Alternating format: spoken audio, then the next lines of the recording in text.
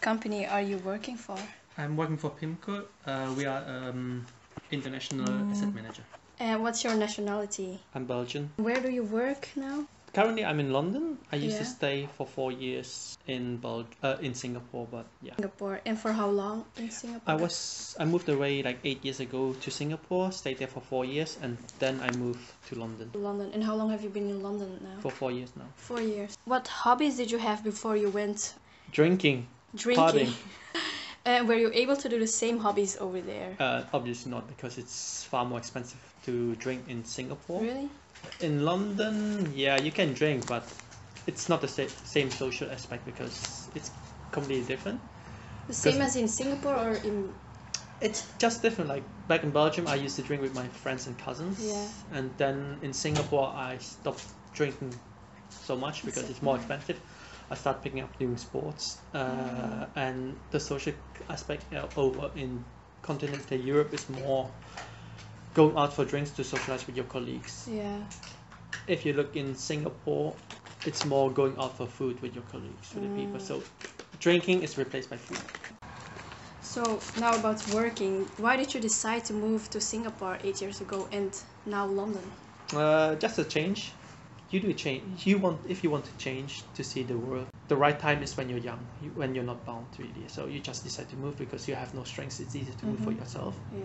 So I decided to move over there to learn new things, to see the world, and make new friends. And Yeah. then four years ago, I decided to move back. Was it different? Was it a big difference for you to adapt from eight years in Singapore to the Western life back in? As I only lived like what I would say like it is always like uh, you need to adapt wherever you go. Yeah. You choose another country, especially if it's not your mother tongue, it's gonna be Mm-hmm. Uh, so the easiest thing that help you adapting is uh, going out. Mm-hmm. Um, it will assist you. Work is obviously is going to help you at the beginning because Yeah, if you enjoy your, your your colleagues, it's going to help you quite a bit. After that, you have to start trying to do your best socialize. And your job content, what you had to do for the same job that you did. Um, it's in the same area, even in the same always the same operations area of corporate. Like you need the same background, but Yeah. the way you do things and see things is different from like inside of the fro- back, um, in the front. Mm-hmm. So it's like uh, if you take like uh, constructions work, you have like different aspect. At the end of the day, what you want is just the house, but you have like someone who's doing like welding, someone is putting the Mhm. stones on Yeah. on the ground and everything. So you have all these different aspects. I've been rotating in this area. Ah, okay. And at your work job, were there are other facilities in Singapore? Maybe you guys go lunch together and things like that, or and in London, do you do the same thing? Or? So in Singapore, it was pretty obvious, uh, pretty normal that you, during lunchtime you go out with your With your colleagues colleagues, yeah. and spend like one and a half hour, like 90 minutes for lunch, even though the official break time is uh, one hour. 50 minutes. Yeah, it's pretty normal over there. So Ah. everyone's literally going for 90 minutes out or two hours. Doesn't really matter. Um, because you know you're gonna stay later. Mm-hmm. You don't really bother about exactly Yeah. 50 minutes, 60 minutes. So you just take your lunch break, you go out with your colleagues Mhm. for uh, in the food court and go back to work.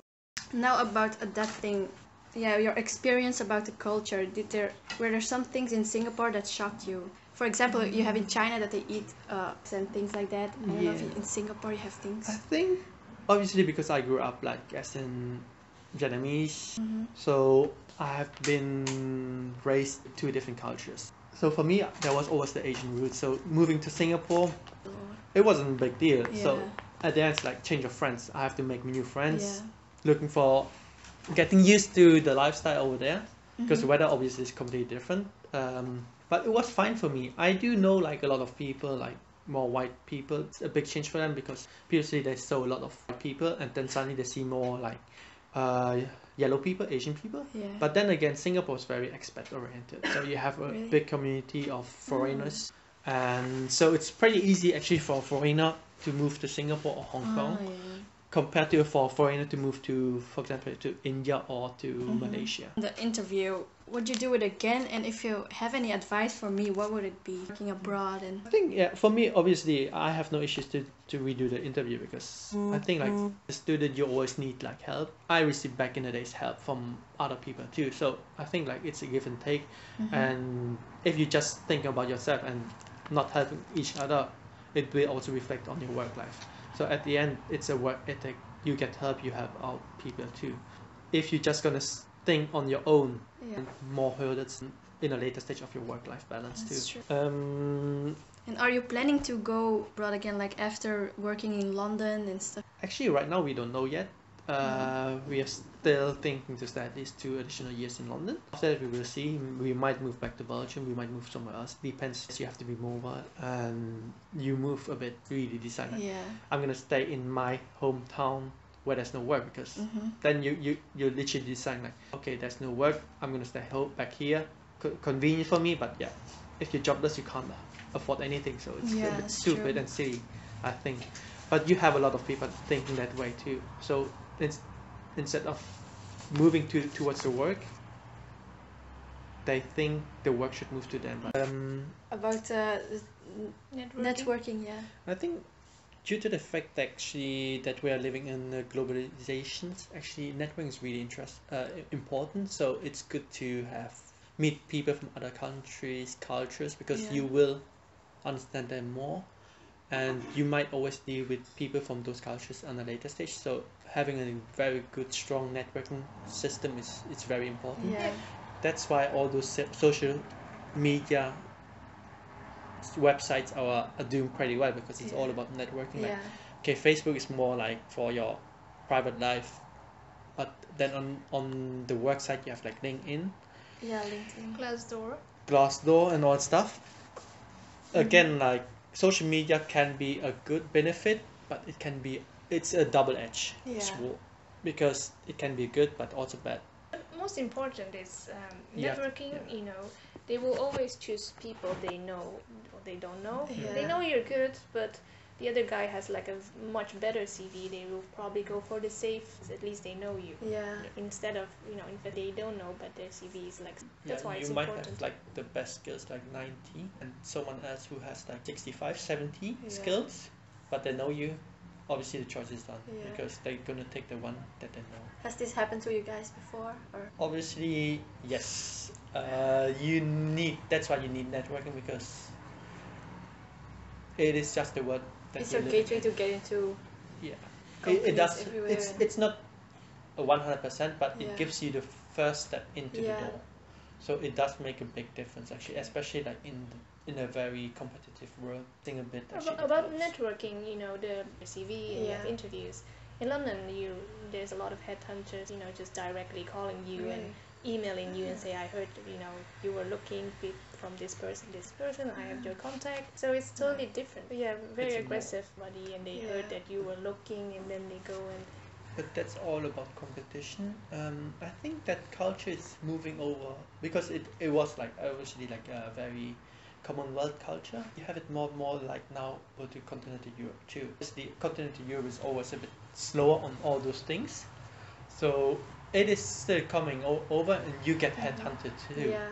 but the extent is much so Okay. that's why uh, if you're you, you get a head start it's always good That's true. every little inch will help you in your career ev- ev- you might think like a skills that you would never think associate with your work it might help you to get a job Mhm. like for me in singapore was like socializing with people like through dragon boating it's sports but because it's actually very popular over there you meet a lot of people in the finance industry in different areas. And at the end of the day it happens that you might know common people too Yeah. it does help all those things. It, it is really weird. The world is so connected nowadays you Mhm. never really know. So you just also have to pay attention with your social media not to Social, post, yeah. not to put everything and, out and there. also important is when you change job, never burn bridges. You never know when you meet them again Yeah. in your, you know, if you burn bridges and a rumor goes out that that's also. Has this happened before with you that you're like No. ex-colleagues or Not really. I haven't. You know, that's why it's important to keep. You know, even though if you really, really don't like. so about your time in Vietnam? And I still have contact with them, knowing the culture. But mostly it was interesting going to work there for three years. Yeah. It's, it's very It's interesting. interesting, Yeah, and it's all different ages also. Japanese guy who was Really? there because yeah, younger people who wanted to study in the university to stay in contact now than before. And when we travel abroad, we have people we know in those countries, and then we can meet up and I think also like if you do if you move abroad and everything, you have to choose your friends.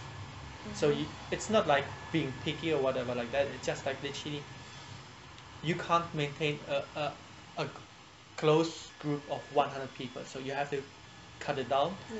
and choose like who are the most important that you think you can go through thick and But I think it's like Then- same in daily life. You Yes. know, Yeah. you you You have cannot to you, get, You you, don't get along with everybody, and sometimes you. So Yeah. then it's Mhm. better to keep in yeah, translate respectful everything. and politeness is very important. It is in every country. It's slightly different. It's over polite, but after Overpolite. yeah. So what do you mean by over polite? Like, if people bump into you, see, it's not your fault. It's the other person's fault. But because you're just so used, you're just gonna say sorry. I'm sorry. Over politeness, giving up your chair, it's pretty normal. But then again, if you go to Southeast Asia, Singapore, to an elderly person or a pregnant woman, so you see it's different cultures. But then again, like you can always be polite. It's better to be more polite Mhm. than less. If you're less, you're rude, and you never know if that person might be your next boss. Happens to people before, an upcoming boss in future. especially in London because everybody's taking the tube, cars, or anything. No, So it might be like you don't really know. So even some people like just wear like really casual. Actually, they're to you know everything. So that's why you never know. And it doesn't hurt you to be polite. Sorry, polite, giving up your chair, but it would be nice that you receive it from other people. Okay.